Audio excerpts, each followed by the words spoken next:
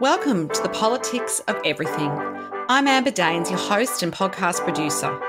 This is a half hour of power, podcast dropping every week where I unpack the politics of everything from money to motherhood, nutrition to narcissism, startups to secularism, the environment, quality, and much, much more.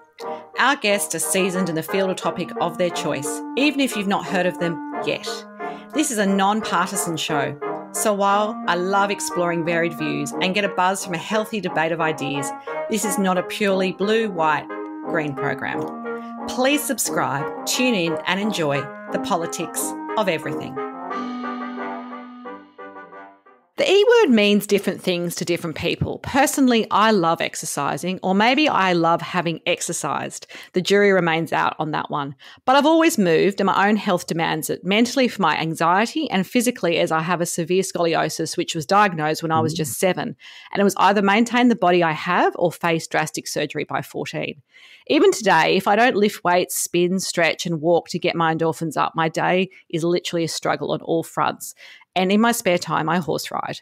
But many people struggle to find that momentum to move, especially as busy careers and demands of life take hold. Based on latest available ABS data, why over 3 in 10 or 35% of adults aged 18 to 64 don't sufficiently physically active every day. And more women, about 40% of us, than men, 32%, did not do the recommended amount of physical activity.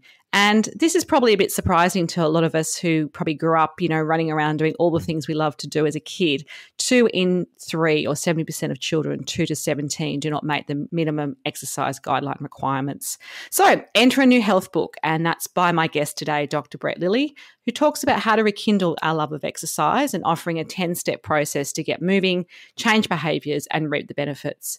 Rediscover Your Athlete Within provides a practical guide to help you reconnect with your inner athlete and written for anyone at any fitness level, Dr. Lee draws upon two decades of experience to help rediscover our passion for movement, becoming more present, and mastering our own futures. Brett has practiced in his Sydney clinic for over two decades and is now living in Tasmania. With a chiropractic master's degree under his belt and many postgrad studies spanning across different disciplines, he's focused on helping his clients find answers and solutions to musculoskeletal conditions and other issues in chronic pain. And Dr. Brett has recently moved, as I mentioned, to Tasmania because he loves the outdoors. We just had a bit chat about that. And of course, he's mentioned this in his book, Trail mm. Running. So let's chat today about the politics of everything when we focus on exercise. Welcome, Brett. Thank you. Good morning. Podcasting remotely can be challenging, but it doesn't have to be. Since day one of the politics of everything, I have relied on Zencastr's all in one solution to make the process quick and painless, the way it should be for those of us who just love great content and want to get our ideas out into the world.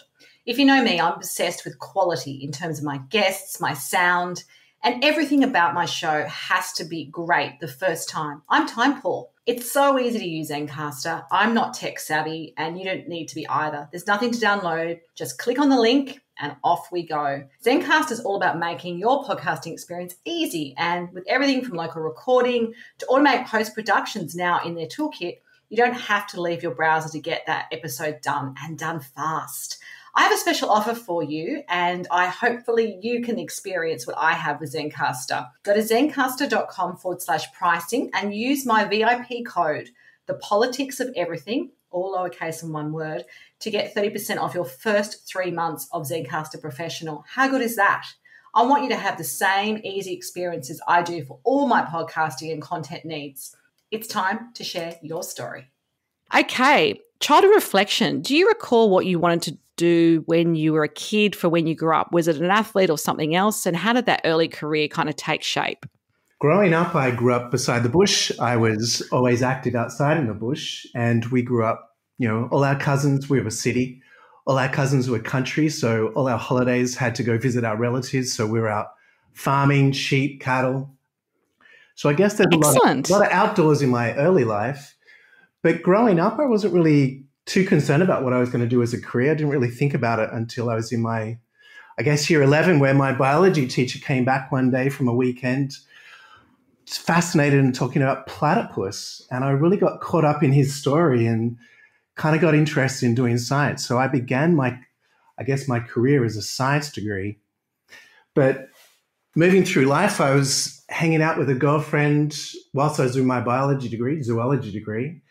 And she used to go see this chiropractor, and she had scoliosis. And I was fascinated by this whole process because I'd never seen it before, never been exposed to chiropractic or, or even really physiotherapy. But I was actually a pretty avid cyclist back then, and I was very interested in tri- um, triathlons. So seeing this chiropractor and understanding, you know, this process of chiropractic, it's natural working with the body really kind of fascinated me. And I guess it kind of tweaked my biological mindset. So I really kind of started to shift in my third year of my degree into chiropractic, pursuing more anatomy along those lines. Yeah, wow. But my career really changed when I had a motorbike accident. And that was when I was 26 now is my second last year of chiropractic school. And that's pretty much what changed my perspective, not just on health and rehab, but also just on what chronic pain is all about. Mm, absolutely. I think when you experience chronic pain, you know, you understand, obviously, have more empathy for others who are going through that as well. So, Getting into our topic today, why does our capacity to want to move our bodies change over time? And I'm thinking of myself as a kid, you know, I basically couldn't sit still. I was a bit of a tomboy. I was very sporty and I came from quite an athletic family. My father was a champion runner and things like that. So we were always out and about and doing bushwalks on the weekend or going to the beach or, you know, just kind of doing a whole bunch of team sports as well. Obviously, we get busy, but I feel like you're kind of desire to want to do it kind of lessens. And what's your sort of, I guess, observation of that? I guess life um, life changes. Life gets busy. You know, we start to move in to careers, different family. We're trying to save money, buy a house, and so our values start to change, and what we're trying to do starts to change. So, the importance of being active and doing those activities, hiking and being out with the family, start to to change. So, time becomes a big factor the conditions become a big factor. You change, you move out of home, and you know your perspective on life starts to change. So that's a really about mindset becomes a big part of that conversation. Yeah, absolutely. But also, yeah, and I think the time thing is huge. I just, yeah, I just suppose it's that thing of, no, even sometimes it's like you have, so even if you have time, sometimes it's like, oh, Netflix or go for another walk or, you know, like it just becomes, I don't know, I feel like you, you don't have as much energy. Just to hang out on. yeah, absolutely. Absolutely. Yeah, no, it's just an interesting thought. And I think it's a good place to start our conversation today. And uh, obviously, your book has a really catchy title. So, do you think everyone has an athlete inside of them? And why do you think so? Because I think some people are obviously more physically predisposed to, you know, physical activity, and other people will struggle with that. Mm. The concept really began more in clinic, seeing, you know, the clinic I was running start to move a lot more into chronic pain and so, you know, you're seeing people in um, long stories, big stories about their life. They come in talking about pain. I have this problem here, and trying to help them in that world and giving them tools to to move past that or get out of that situation and help their bodies heal. But also, it became became more about the mindsets like, well, there's a person behind this story, behind this pain. So yes, you might have tissue damage or an injury that you're carrying, but there's also a story in the way you're going about it. And that's kind of really where the idea began because we started to talk to people differently. You know, and it's just like an athlete. An elite athlete has to train to push to get to get a you know a PB, a, a better time, and constantly progress to get higher and higher. And it's almost you know on the other end of the scale. If you're talking about chronic pain, you've also got to take people through that same process. So, you know, what is it they're trying to change? You get very specific about or deliberate about what they're trying to change, but also working more with the person behind the problem as well. Yeah, I think that's an interesting process to kind of go through with, I guess, your patients and the people you've worked with as well. Mindset, something you touched on a little bit earlier. Obviously, for athletes, that's everything. And I have two children who are in elite sports at, at a private sports school here on the Central Coast. So I know all about the work on their mindset as much as their phys- physical development as well. How can we embrace that in our everyday so that we are kind of match fit, if you like, and can kind of take on whatever we need to? Because, of course, as we get older, life gets busy and we're not always athletes, but we obviously can change our mindset around how we think about our bodies and movement? Mindset's a big topic. I mean, in the in the book, I really break mindset down to internal and external sort of parts of that. There's an internal core, which is you know your ability to put in work to to follow through to persevere and to grow so there's a grind grit and growth process to that which is a very internal driven um, which is more about inspiration in many ways and how we influence ourselves to actually want to do things but there's also an external part of that too which is you know our conditioning our proximity the environment we live in the people we hang around with but also you know the role models we grew up with. All of this shapes our lives and also you know our inner circle the people we hang around with our our buddies are a big part of what shapes a big part of really who we become and what we're doing. So to incorporate more exercise into your life is really about how big a decision you make that how important you make that in your life so capacity from a mindset point of view is you know recognizing where you are what you know what are you trying to deal with at the moment from a physical but also emotional thinking point of view, the way you're talking about things to yourself, the way you talk to yourself, how you make decisions. What would be an example of that? When you talk about that self talk, what would be something that you could say to yourself that would help maybe get you into the right mindset from your own experience? I think getting into your own mindset is really, you know, one part of what we look at is is looking back into your past and how you've dealt with situations previously, how you've talked to yourself, what sort of decisions you have made in the past. So you can really lean in on what's worked for you in your past and then start to bring that into your daily lifestyle, changing your proximity. It could be using affirmations, could be using visualizations, or it could be just, you know, hanging out with people that sort of you reinforce those concepts that you're already believing in. Absolutely. No, I think they're all good good tips for us as well. Obviously staying on track is key. You know, a lot of people might, you know, relate to things like weekend warrior syndrome where you might, you know, do cycling 40 kilometers twice on the weekend and then you sit on the couch and sit in your car and sit at your desk for the rest of the week. How can we make it less of a chore to move regularly, particularly if we're time poor? I think there's this idea that you have to have an hour or two to exercise and if you don't have that time, is no point at all. But sort of, I imagine there's some micro exercises that we could be doing just to even prevent some of that fatigue that we might feel in the afternoons or those things which make our body ache. It's really um, creating your own version of it's well, it's more about leading an active life. So you know the the concept of ten thousand steps is a great example of that. It's not so much trying to do it an hour at once, but it's what you do over the whole day.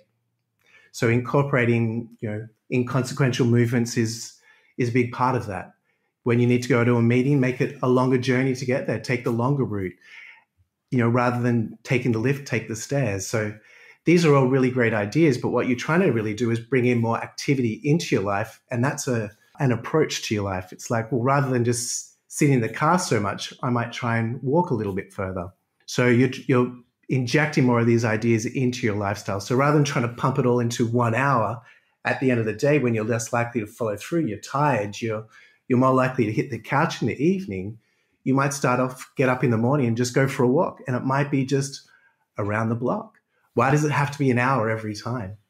Exactly. I think that's the thing. I think it's that all or nothing approach to exercise, which maybe if we've come from structured exercise, like we've been in team sports when we're younger, or we feel like we have to go to the gym and do a whole 45 minute class, we might mm. sort of throw the baby out with the bathwater, so to speak. So I think the way in which we can kind of think differently about movement is probably the key to some of this. Would you agree? And even thinking about your definition around movement as well. Like, what is movement? So we've used the term athletic and often when we think about an athlete, we think about young, elite, someone who has a lot of time and they're training a lot. But you know, really what we're looking at with rediscovering your athlete within is finding your version of what your athlete is, what you're wanting to do, what you're capable of. So, you know, why does it have to be at the gym? It could be yeah. in the garden, it could be in the kitchen, it could be just going to a dance class, it could be hanging out with the kids and running around the park with them. Yeah, and I think during COVID we got pretty good at that because the gyms were shut. Like I'm, I am a gym person, so mm-hmm. it's like we all went out and you know bought all these weights and created you know exercise at home because we kind of had to. So I think it's sort of that flexibility around it sounds like it's the key. And the other thing in your book, which I I loved, was that is your why big enough? You know, is it how do you step out of that comfort zone and and those rules and beliefs that you have in your head? Yeah, I think that's really all part of that And of course, you know, as we age, a lot of us have physical limitations. You know, in my 20s and 30s, I used to run half marathons. I don't do that anymore Ah. at 47. Yeah. God, yeah. I'm, I'm one of those really crazy people that, you know, just love, I just love endorphins and exercise. And, you know, for me, it's non negotiable. But of course, things like happen, like you get sore hips or, you know, you don't have enough time to train. And so you're not going to put yourself under that level of stress. Some people might have heart conditions or may have had surgery. How can we adapt our exercise so we're still feeling like we're doing enough, but of course, modifying that for the conditions and the age and stage of which we're at? Well, again, that comes back to your definition of what you're trying to do, what your definition of an athlete actually is. And as you create your own version, you know, a lot, a lot of what we're trying to do, I guess, trying to do a marathon is: Are you trying to do a marathon in two months' time, or are you trying to do a marathon in two years' time? So you start to also think about the timing of your training. So one of the big concepts we have is something I call slow burn, which was developed, God, 20 years ago by Stu Mittleman, an ultra distance runner. And one of the things he always talked about is we're trying to fit so much into one week. Why not do it over three weeks? And so you're starting to change the timing of what you're doing. So one of the concepts to answer what you're talking about in slow burn is finding your own pace of doing exercise. That's a big part of it. We're conditioned to try and do an hour every day or turn up to the gym five times a week. Why not try and do five times a week over three weeks? So you're doing 15 sessions. You miss one session or one week's busy. You can start to move it around into a second week or a third week, spreading that, you know, timing out a little bit. So finding your own pace is a big part of that. Absolutely. Pain for some is a motivation. I know for me, as I mentioned, having had a scoliosis um, most of my life, and, and if I don't move and I don't stretch and I don't keep active, it's actually the pain is worse than sort of lying in bed and so forth. What about for others? It might be a bit of an excuse, if you like. How can we kind of navigate that if we're kind of you know, I think sometimes a generation maybe older than me was, you know, you got to rest when you're like in pain, as opposed to you actually need to move your body and you need to do things which are kind to your body, but also are going to help you long term. How do you kind of guide some of your clients, if you like, through that? Pain is a big topic. I mean, pain is hard to see. You know, we can Yeah. we can do a physical damage. You might have an acute injury where you've fractured a bone. We can see that on X-ray without a problem. Someone in chronic pain, you know, you're relying on what they're telling you and their story and your assessment, but you're also starting to find out more about their world, how they interpret that pain, how they live with that pain, and that's that's almost their perspective on the world. So pain is a, a big discussion from an external point of view, what we're conditioned to believe, which is kind of what you were touching on as well. Your pain is this, pain is that, you shouldn't do this, you shouldn't do that.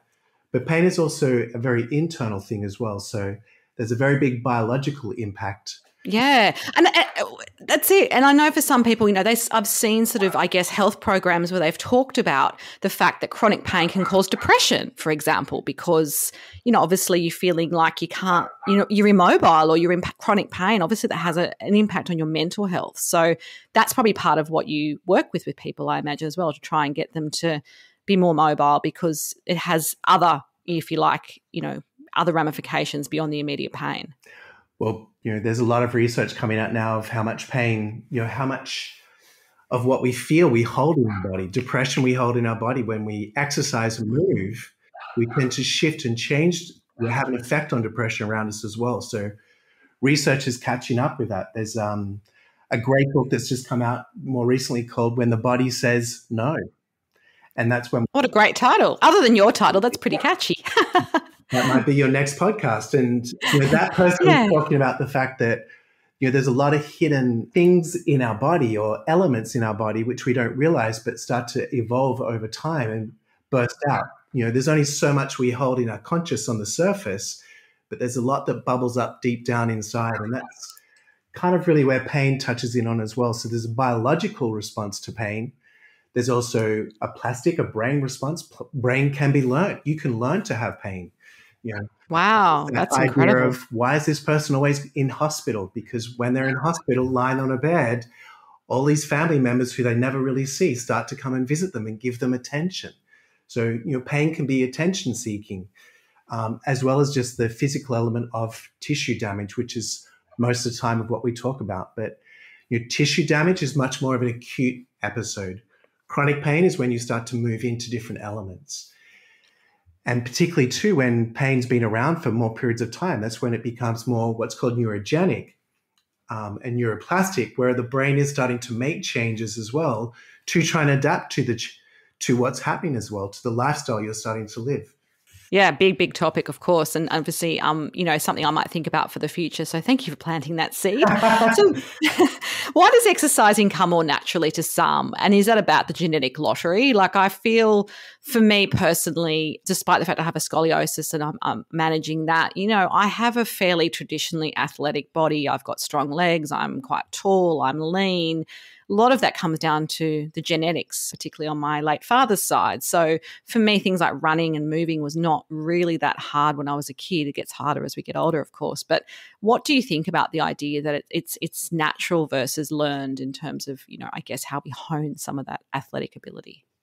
Well, as um, human beings, you know, our evolution is being physicality. Our ancestors chose a very physical way of lifestyle, and that's the discussion of evolution that's also nutrition, not just physicality.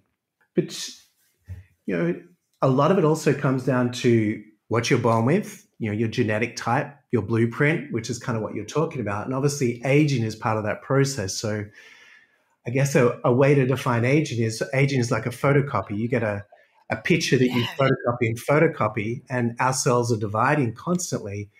And each time you do a new photocopy, it's a slight difference. There's a slight loss in definition. So every time there's another photocopy, that's kind of like the years of our life. We're losing the, the crisp clarity of that picture, and that's cell division.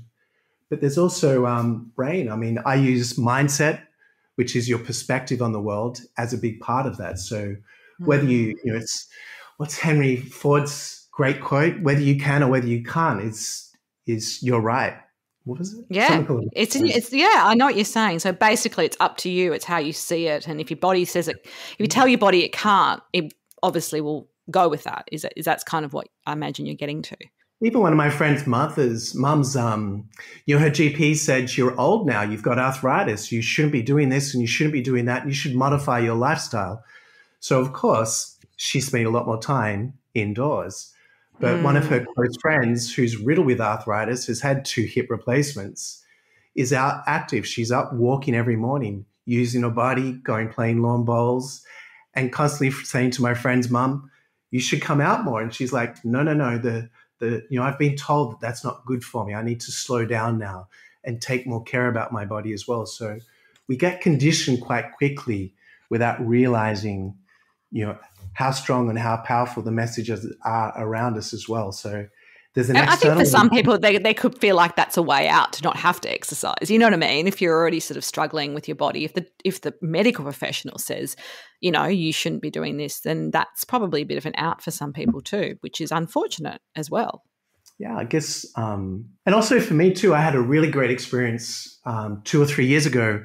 A mentor of mine, Professor Stuart McGill, who's a well-renowned back specialist, was you know was here in Australia doing a conference, and over lunch he was talking to me about the fact that at the age 78, he's fitter and stronger than when he was 50. And when he was 50, he was you know researching some of America's top weightlifting and training with these guys. He was a very fit, strong man. So to turn around at the age of 78 and say he's fitter and stronger just kind of blew me away. We got into this big conversation. And so that conversation really started to talk about the way we view recovery as we get older and the way we use mm-hmm. recovery in our training program. But also, it was a big conversation on mindset. So, most of the time, if you think of a, an 80 year old person, you're thinking of someone that's in a retirement village in a small room, a one or two bedroom place. They don't go out much. They're old. You know, they turn up to a big room to have dinner. Whereas you know, it really comes down to, you know, what your vision is of an athlete and what exercise means to you. And definitions become a big part of that process as well as mindset. Absolutely.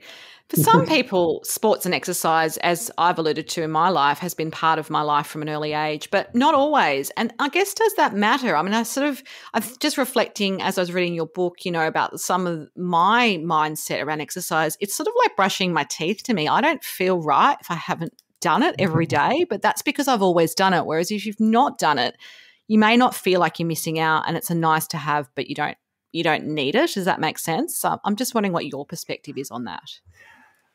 Well, there's many ways you could take that question. It really comes down to what your version of that is, what your definition again of being an active lifestyle. So your definition of someone that's been running a lot, whereas someone might be farming or they might be in the garden, they might have grown up gardening quite a bit. So they're a very active lifestyle, which is really what we're about. But you your activity levels are about longevity and the quality of your life. So injecting more exercise is really about talking about what movement actually means to you. You know, when I say exercise, that suddenly conjures up the gym. Whereas if I say movement and gardening, or you, know, you might be in the kitchen moving around and pulling the baked roast out of the oven, you know, that's moving on a different level. You're off the couch, you're being active. And that's a big part of what we really need is our physicality as human beings. Yeah, absolutely. Look, a couple of final questions for you that I do ask all my guests. If we spoke again in a year's time, Brett, what would be your number one goal to have achieved and why? Doesn't have to be trail running, by the way. oh, actually, I was out walking around Mount Wellington, which is above a big mountain above Hobart. And I, you know, we live in a place called Lenah Valley, which is, I'm not sure how many kilometers away, but at Mount Wellington, I saw this hiking sign saying, you know, Lenah Valley, that way, no distance, no anything, just a path. And I was like, oh, I wonder if I could run that. How far would that be? Is that 20, 30 kilometers? I'm not sure yet. So that I'll touch base with you and see whether you do that or not. Could be and, a goal um, if I'm doing that in a year's time. Yeah, I don't know if I can track you on Strava though, because I'm probably imagining it doesn't have any kind of you know reception out that way. I'm not sure if there's reception in that part of um, Mount Wellington. No, excellent. Takeaway message for us today as we wrap up on the politics of exercise exercise takeaway message. I think um, one big thing is that you know exercise doesn't have you know an athlete is your definition, and that's really a big concept. Is finding what your version of an athlete is, and then when you find your version, you can live the life according to your rules, your lifestyle, and set up the conditions that you want you know, the way you want it to be. So, really. A lot of this book started in longevity, started in performance. How do we perform better? And and giving people tools to be able to do that but before even we have those tools in place, we've got to really have our own version of what an athlete actually is to us. What's our own version of that? So defining is a big part of what an athlete within is all about. Yeah, absolutely. I've loved our conversation and hopefully lots of people will be motivated to to not just grab your book but actually get moving for not just for today and also the rest of their lives. Thank you so much for your time and I wish you well. Thanks so much for listening today. If you've enjoyed the politics of everything, I thrive on your feedback. So please add a short review and share the podcast with your network through Apple, Spotify, and all the usual suspects. I'm always on the hunt for new and diverse guests, so if you or someone you know has a fresh idea you're busting to get out there, please email me at amber at amberdaines.com and my crew will get back to you very soon.